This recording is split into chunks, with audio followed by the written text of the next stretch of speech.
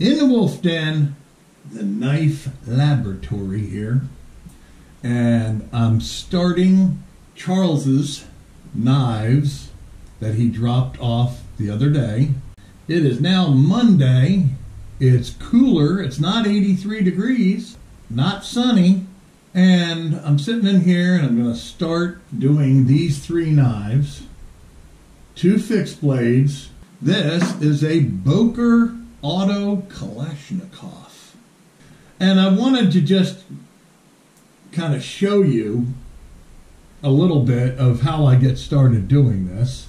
When you want me to put a wicked edge on your knives. So what I did here is I'm taping up kind of like as if you're painting a car. I'm taping up this Boker from Charles to not get any uh, dust or anything like that down in the pivot. This is a Boker Auto EDC type knife and you can see how I kind of tape it up. I leave just the edge and right here I didn't see this earlier when he dropped it off, but that has reminiscence of looking like it's a rounded off Tonto or something. And right there where my fingernail is, is a giant chip in the blade. So that giant chip in the blade is going to have to be dealt with one way or another. And one of the cardinal rules when you're doing something with someone else's knives is take as least amount of steel off of it as you possibly can.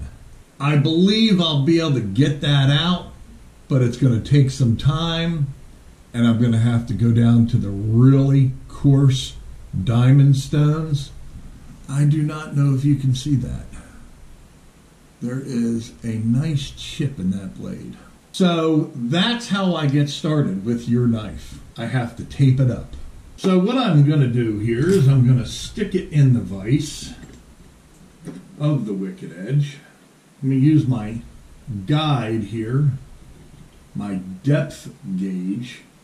You've got two sets of holes, one on the top, one on the bottom, for different depths and then you put the blade in and you rest it on there. And in the beginning, you're kind of guesstimating where this knife needs to be in here. Lock down the vise. It has nothing.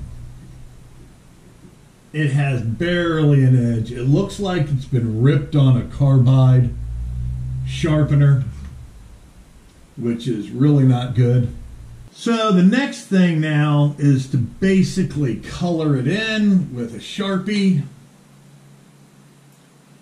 and mark the edge. Make a nice, so as you're working on it, you can see where you're hitting. I can get out, say, a thousand grit stone and use this to take the marker off and kind of see where the edge is.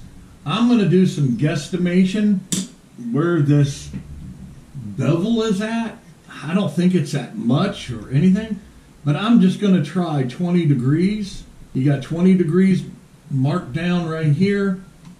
You can check it with your angle cube. I turn it on, I lay it on the base on this base here. I zero it out. It's got magnets. Here, here, here, here. So what I can do then is I can attach it to here. So I'm going to lay this down and see right now I've got that angle. It's at 19.3 degrees. But let's see where the marker comes off.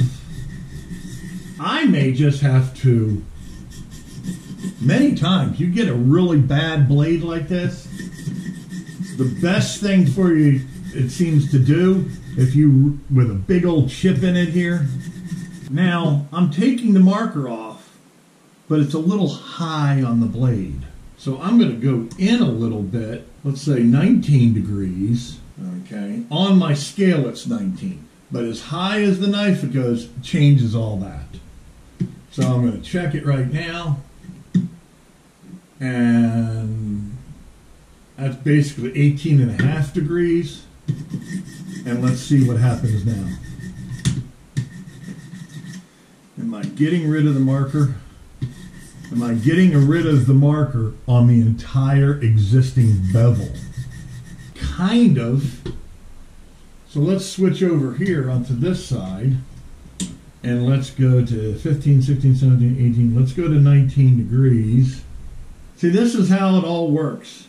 That's why this Wicked Edge is such precision. Because you not only have degree angles down here on the bar that slides the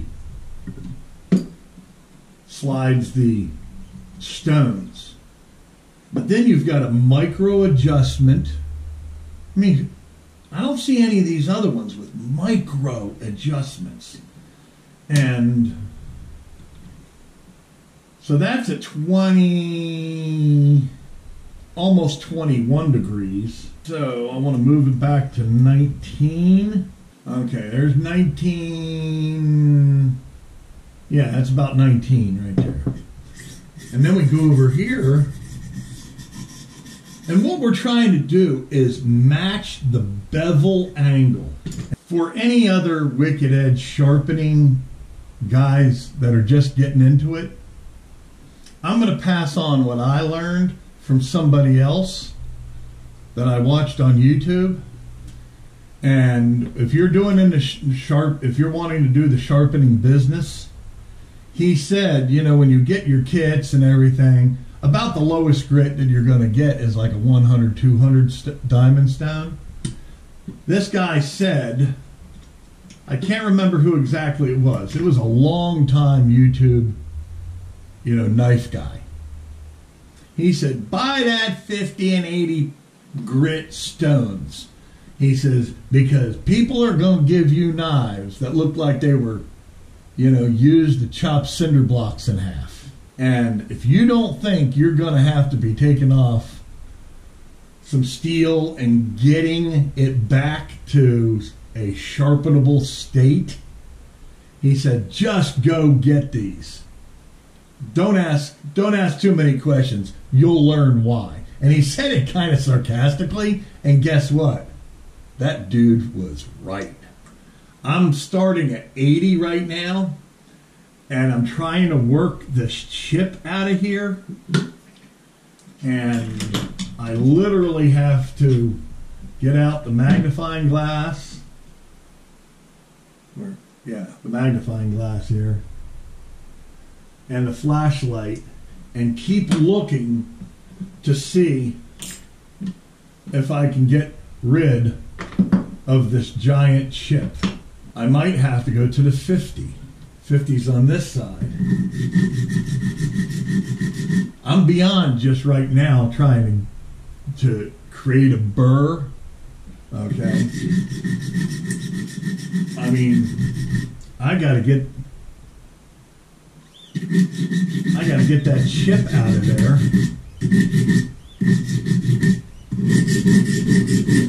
Whew, noisy, huh?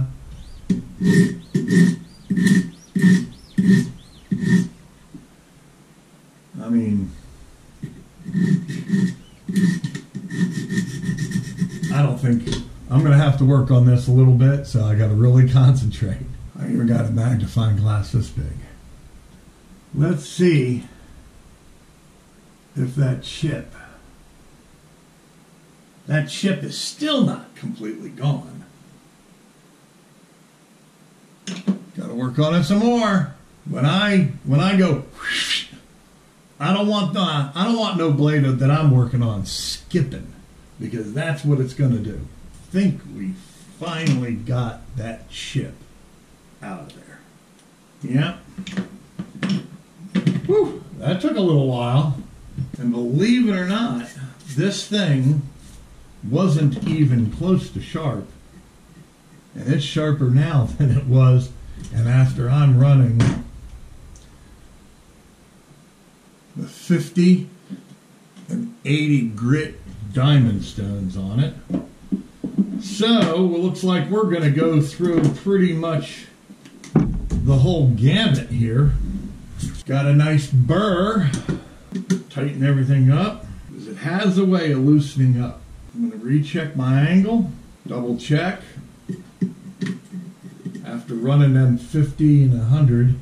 And now that we got a burr and got the chip out, I'm going to run 100 grit and then we're going to step through all the stones up to probably maybe 800 or 1000 and then top it off with the fine and uh, coarse ceramic. That makes a nice presentation, keeps it a nice, good, you know, toothy working edge. I just scrub up and down at first here before we do any polishing. You can feel it. You can feel the burr getting smoother. All right, I'm just up to 100 grit right now, and if I ran my finger across this, I'd slice my finger open. This is already so sharp. It's AUS 8, great steel. I mean, that thing right there is going to slice my finger open, and I haven't even left 100 grit yet. I'm doing pop, basically a smoothing out now.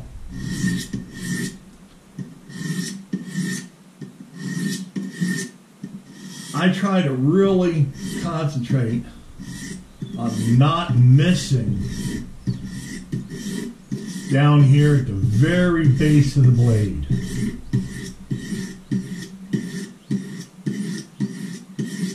Now, when I do this,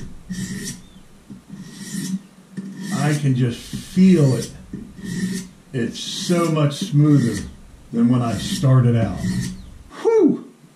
That's of a gun right there with skin of deer.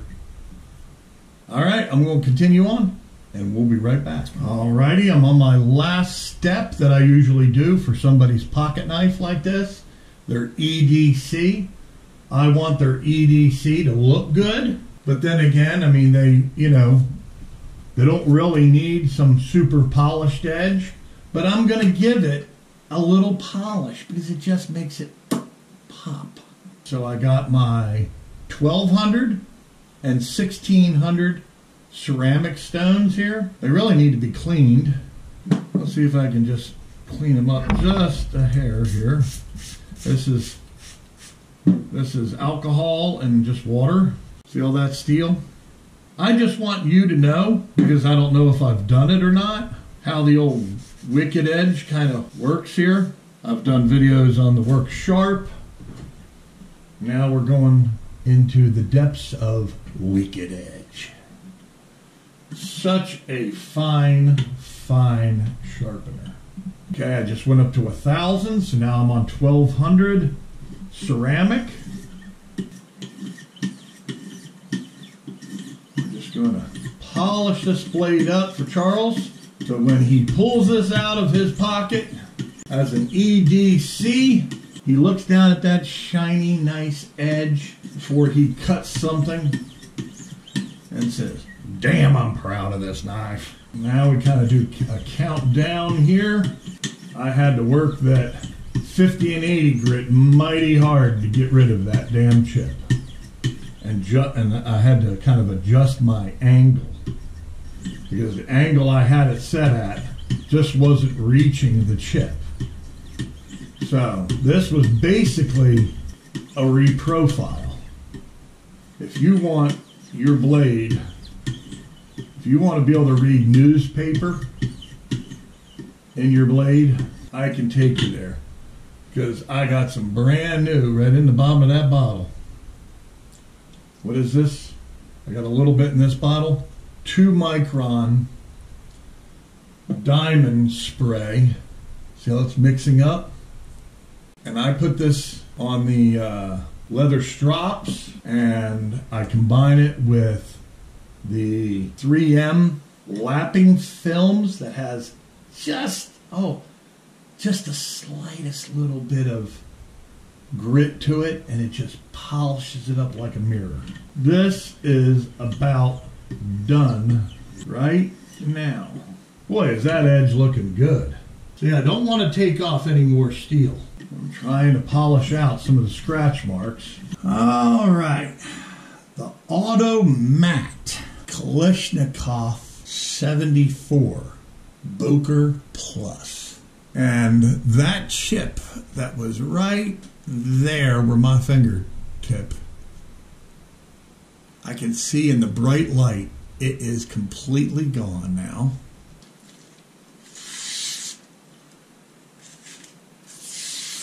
Yeah, you bring your knife to me. The son of a bitch is wicked sharp by Wicked Edge and Quality Knife Sharpening, Jacksonville, Florida. Oh, yeah. Well, that's another one for the books and another one for Charles. And he's got a nice EDC. Auto. Boker Plus. Come on.